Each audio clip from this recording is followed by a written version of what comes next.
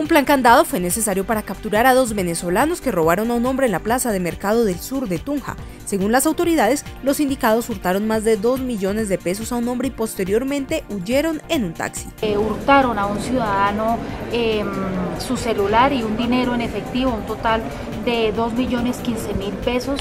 Esta persona, la afectada, llama al 123 a la línea de emergencia, alerta, da las características y con la ayuda de mis unidades ya del modelo de vigilancia se activa un plan candado y se logra la captura de estos dos ciudadanos de eh, nacionalidad venezolana. Estos dos sujetos, además de ser capturados, fueron puestos a consideración de Migración Colombia para que sean deportados por la gravedad de los actos cometidos. Un reporte migración, hoy eh, estoy atenta a conocer los pormenores porque ese es el deber ser.